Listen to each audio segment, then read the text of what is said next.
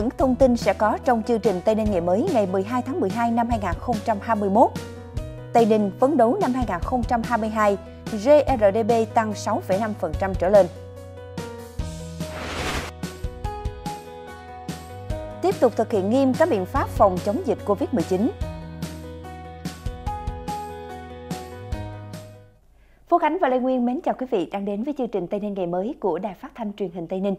Mở đầu chương trình Tây Ninh ngày mới hôm nay, Chủ nhật ngày 12 tháng 12 năm 2021, mời quý vị cùng điểm lại những sự kiện đáng chú ý ngày qua. Ngày 11 tháng 12, Hợp tác xã Toàn Phát Thành phố Hồ Chí Minh đến thăm trao tặng Hội Nhà báo tỉnh Tây Ninh 250 túi thuốc dành cho người mắc Covid-19. Đây là món quà do cơ quan thường trú báo Nhân dân tại Tây Ninh cùng Hội Nhà báo Tây Ninh vận động gửi tặng những người làm báo. Theo Phó Chủ tịch Thường trực Hội Nhà báo Tây Ninh Nguyễn Thế Lực, hội sẽ lập tức chuyển đến toàn thể hội viên, cán bộ, phóng viên, biên tập viên người lao động thuộc các cơ quan báo chí tại Tây Ninh. Mặc dù phải chịu tác động mạnh bởi dịch Covid-19, nhưng tình hình thu hút đầu tư tại các khu công nghiệp trên địa bàn tỉnh trong năm 2021 vẫn có tín hiệu khả quan. Năm 2021, tỉnh đã thu hút tổng vốn đầu tư trong và ngoài nước ước đạt 9.935 tỷ đồng và trên 648 triệu đô la Mỹ, có 73 dự án gồm 60 dự án trong nước, 13 dự án nước ngoài được cấp giấy chứng nhận đăng ký đầu tư và chủ trương đầu tư mới, tăng hơn 10% so với cùng kỳ về số dự án thu hút mới. Ước đến cuối năm 2021, trên địa bàn tỉnh có 977 dự án, gồm 339 dự án đầu tư nước ngoài và 638 dự án trong nước, với tổng vốn đăng ký đạt trên 8.252 triệu đô la Mỹ và 98.350 tỷ đồng.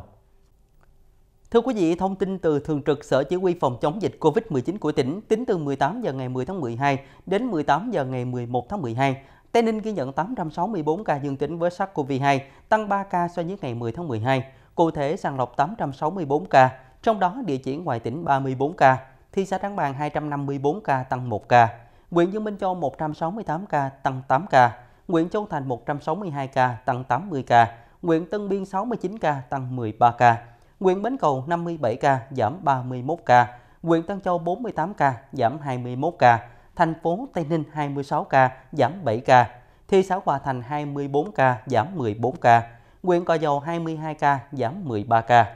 Về tình hình cách ly y tế, cách ly tập trung 1.263 người, cách ly tại nhà nơi lưu trú 22.548 người. Tính từ đầu dịch đến thời điểm hiện tại, tổng số ca mắc COVID-19 là 63.361 ca, đang điều trị 16.795 ca, số ca tử vong 399 ca. Trong ngày 11 tháng 12 có 12 ca. Về tình hình phong tỏa, đến ngày 11 tháng 12, tỉnh đã thiết lập 1.274 vùng phong tỏa, trong đó đang phong tỏa 446 dùng, 828 dùng đã giải tỏa. Về tình hình thực hiện chính sách theo nghị quyết số 68 của chính phủ, trong ngày các địa phương đã chi hỗ trợ cho 622 người với tổng số tiền là 936 triệu đồng.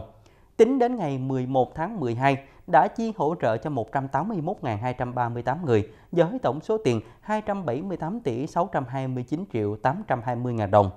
Quý vị khán giả hãy quét mã QR góc dưới của màn hình khi xem kênh truyền hình Tây Ninh TTV11 hoặc truy cập địa chỉ www.ttv11.com.vn để nhận được thông tin nhanh chóng chính xác về tình hình dịch bệnh. Qua phân tích tình hình thực tế về phát triển kinh tế năm 2021, Ủy ban Nhân dân tỉnh Tây Ninh đề ra kế hoạch tăng trưởng tổng sản phẩm trong tỉnh GRDP năm 2022 đạt 6,5% trở lên. Để đạt được mục tiêu đề ra, Ủy ban Nhân dân tỉnh Tây Ninh đã đưa ra nhiều giải pháp như quyết tâm thực hiện hiệu quả mục tiêu kép, vừa đảm bảo chặt chẽ phòng chống dịch, vừa đẩy mạnh các mục tiêu phát triển kinh tế xã hội trên địa bàn, không lơ là chủ quan mất cảnh giác trong phòng chống dịch, không làm đứt gãy quá trình sản xuất kinh doanh, đẩy nhanh tiến độ thực hiện các chương trình đề án trọng điểm của tỉnh, hoàn thành quy hoạch tỉnh Tây Ninh thời kỳ 2021-2030, tầm nhìn đến năm 2050 tăng cường thực hiện những giải pháp mang tính đột phá để phát triển kinh tế xã hội tỉnh Tây Ninh giai đoạn 2021-2026, tiếp tục thực hiện đồng bộ các giải pháp tháo gỡ khó khăn, khôi phục sản xuất các ngành các lĩnh vực, siết chặt kỷ luật tài chính ngân sách nhà nước, đẩy mạnh giải ngân vốn đầu tư công. Bên cạnh đó, tập trung rà soát những bất cập điểm nghẽn, cản trở sự phát triển để giải quyết kịp thời, khơi thông các nguồn lực đầu tư, trong đó, chú trọng giải quyết kịp thời các khó khăn về thu hút đầu tư, quy hoạch, quản lý đất đai, đền bù, giải phóng mặt bằng, cải cách hành chính, thực hiện tốt các biện pháp đảm bảo an sinh xã hội, phúc lợi xã hội, bảo đảm quốc phòng an ninh, chú trọng thực hiện tốt có hiệu quả công tác đối ngoại, kiểm soát chặt chẽ thông tin xấu độc trên mạng, ngăn chặn thông tin sai sự thật gây hoang mang trong xã hội. Kính thưa quý vị, những ngày gần đây, số ca mắc mới COVID-19 trong ngày của tỉnh Tây Ninh luôn ở mức cao, trung bình khoảng 800 người một ngày, đa số là ghi nhận trong cộng đồng. Do đó, công tác phòng chống dịch và nhất là ý thức của người dân về phòng chống dịch cần thiết phải được tăng cường. Theo đánh giá của Ủy ban Nhân dân tỉnh, nguyên nhân cơ bản khiến số ca nhiễm COVID-19 tăng là do một bộ phận người dân còn chủ quan lơ là trong thực hiện các biện pháp phòng chống dịch. Một số doanh nghiệp hoạt động sản xuất kinh doanh thương mại dịch vụ chưa bảo đảm các biện pháp phòng chống dịch theo quy định. Theo quy định hiện hành, các hoạt động kinh doanh dịch vụ như quán bar, karaoke, vũ trường, massage, internet, trò chơi điện tử vẫn tiếp tục tạm dừng. Tiếp tục hạn chế quy mô một số hoạt động tập trung đông người, các hoạt động kinh doanh dịch vụ ăn uống, các hoạt động văn hóa thể dục thể thao, cưới hỏi, hiếu hỉ, tang chế, các nghi lễ tín ngưỡng tôn giáo không tập trung phục vụ quá 20 người trong cùng một thời điểm và phải đảm bảo tuân thủ 5K, không phục vụ rượu bia, thức uống có cồn. Ủy ban Nhân dân tỉnh kêu gọi người dân và toàn xã hội không chủ quan mất cảnh giác trong công tác phòng chống dịch bệnh, thực hiện nghiêm thông điệp 5K, tích cực tiêm chủng vaccine phòng COVID-19, tăng cường khai báo y tế điện tử và quét mã QR tại các địa điểm. Kính thưa quý vị và sau đây thì chúng ta sẽ cùng gặp gỡ Lê Nguyên với những thông tin thời tiết ngày hôm nay nha. Kính thưa quý vị, hôm nay tại Tây Ninh và khu vực miền Đông Nam Bộ ít mây không mưa, ngày nắng, gió Đông Bắc đến Đông cấp 2, cấp 3, nhiệt độ dao động từ 22 đến 32 độ, độ ẩm không khí từ 68 đến 75%. Kính thưa quý vị, thời tiết trở lạnh cũng là khi cơ thể chúng ta rất dễ mắc các bệnh về đường hô hấp như cảm lạnh, viêm mũi, viêm họng và những bệnh vật khác như là cảm cúm, cảm lạnh vân vân. Lúc này thì sức đề kháng dần yếu đi và không thể chống chọi trước sự khắc nghiệt của thời tiết xung quanh. Vậy làm thế nào để chăm sóc cơ thể đúng cách khi trời lạnh? Mời quý vị cùng tham khảo một số lưu ý quan trọng khi chăm sóc sức khỏe để có cách phòng ngừa bệnh và bảo vệ bản thân cũng như mọi người xung quanh tốt nhất vào những ngày lạnh. Đầu tiên là đảm bảo chế độ ăn uống cung cấp đầy đủ dinh dưỡng. Thứ hai là luôn bổ sung đủ nước cho cơ thể. Thứ ba là cải thiện giấc ngủ, ngủ sâu hơn.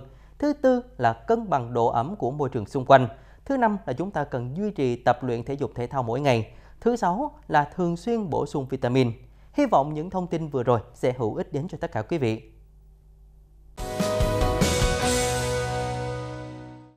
Và hôm nay 12 tháng 12 trên TTV11 sẽ có nhiều chương trình hay dành cho quý vị. Trong đó có những chuyên mục như giáo dục và đào tạo, học tập và làm theo tư tưởng đạo đức phong cách Hồ Chí Minh. Trong những năm gần đây, Tây Ninh cùng với cả nước thực hiện chương trình giáo dục phổ thông 2018. Đây là mục tiêu mà toàn ngành hướng đến trong thời gian tới. Để thực hiện tốt điều này, ngoài sự quan tâm của các cấp các ngành thì không thể thiếu sự chung tay góp sức của các tổ chức cá nhân để nâng cao hơn nữa chất lượng giáo dục. Chi tiết nội dung này sẽ có trong chuyên mục Giáo dục và Đào tạo phát sóng trên TTV11 lúc 16 giờ 50 phút ngày 12 tháng 12 năm 2021. Kính mời quý thầy cô, các em học sinh cùng quý vị khán giả đón xem. Bị khuyết tật từ nhỏ, số phận không cho chị được một cơ thể trọn vẹn, một cuộc sống bình thường. Nhưng chị đã nỗ lực vượt qua nghịch cảnh, tự chủ được cuộc sống và giúp đỡ những người cùng cảnh ngộ.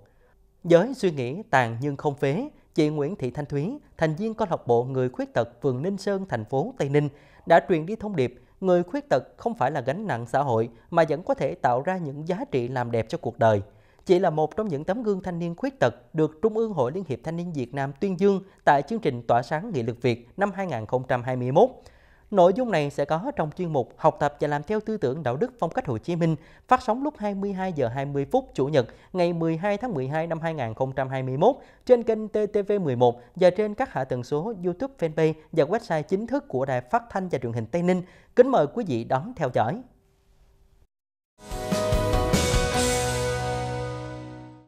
Quý vị khán giả thân mến, sau đây chúng ta sẽ cùng đến với những thông tin về các chương trình giải trí sẽ được phát trên kênh TTV11 và trên sóng phát thanh FM 103,1 MHz trong ngày hôm nay. Dù có chuyện gì đi nữa, xin anh cũng đừng nói lại với anh Tấn. Đón xem những lát cắt nhân văn rất đời thường về những nỗi niềm của anh em phòng không không quân trong tập 32 của bộ phim Cao hơn bầu trời lúc 12 giờ hôm nay.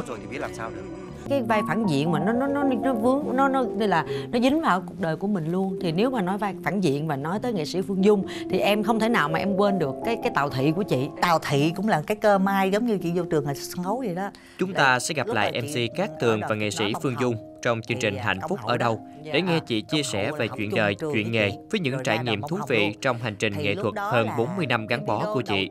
Chương trình được phát sóng lúc 15 giờ 35 phút. Chiếu lên, rọi lên. Hà My, cô gái có giọng hát trời phú nhưng bị chê bai vì thân hình quá khổ. Cô ấy đã quyết tâm thay đổi và lột xác như thế nào? Những tình huống gây cười kết hợp với sự hớm hỉnh, duyên dáng từ dàn diễn viên xinh đẹp và nổi tiếng. Liệu Hà My có đạt được ước mong của mình? Mời quý vị đón xem bộ phim Sắc đẹp ngàn cân được chuyển thể từ bộ phim Ăn khách cùng tên của Hàn Quốc. Những ngày tháng đau đớn đã qua rồi. Cùng đồng lòng, cùng mọi người cùng dâm dình cùng đoàn kết vượt qua đại dịch corona phát triển kinh tế để nâng cao sức mạnh phòng chống dịch, phòng chống dịch để xây dựng môi trường thuận lợi cho phát triển kinh tế. Với tinh thần nỗ lực vượt khó và quyết tâm vào cuộc của cả hệ thống chính trị, chúng ta chắc chắn sẽ thực hiện thắng lợi mục tiêu kép vừa phòng chống dịch vừa phát triển kinh tế, ổn định đời sống, đảm bảo an toàn sức khỏe cho người dân và an sinh xã hội. Trong chương trình ca nhạc trên sóng phát thanh FM 103,1 MHz của Đài Phát thanh và Truyền hình Tây Ninh hôm nay, mời quý vị cùng đón nghe chương trình với chủ đề Chiến thắng Corona phát sóng lúc 7 giờ. Quý vị và các bạn thân mến, sự chú ý của người hâm mộ bóng đá Việt Nam vào tối nay sẽ là trận đấu thứ hai của đội tuyển Việt Nam tại F Cup 2020 với Malaysia, một cuộc đối đầu có ảnh hưởng lớn đến việc cạnh tranh vé vào bán kết của hai đội. Còn bóng đá thế giới sẽ tiếp tục là những trận đấu hấp dẫn tại các giải vô địch quốc gia châu Âu. Sau đây chúng ta sẽ đến với lịch thi đấu một số trận đấu đáng chú ý. Trận đấu cho đội tuyển Việt Nam và Malaysia ở bảng B AFF Cup 2020 sẽ diễn ra vào lúc 19 giờ 30 phút tối nay. Đến với AFF Cup lần này, đội tuyển Việt Nam với mục tiêu là bảo vệ chức vô địch. Do đó, trước tiên phải vượt qua vòng bảng, mà cuộc đối đầu với Á quân Malaysia có ý nghĩa then chốt. Trong những cuộc đối đầu gần đây, phần thắng luôn nghiêng về chúng ta. Ở trận đấu tới, ông Park Hang-seo sẽ có đội hình mạnh nhất, còn Malaysia đang gặp khó khăn khi thiếu vắng 4 trụ cột liên quan đến Covid-19. Giành chiến thắng ở trận đấu này xem như đội tuyển Việt Nam đã đặt một tay vào tấm vé vào vòng bán kết. Trước đó, lúc 16 giờ 30, Indonesia sẽ gặp Lào. Đây sẽ là cơ hội nữa để Indonesia có thêm chiến thắng và có những toan tính cho trận gặp chính Việt Nam ở lượt đấu tới.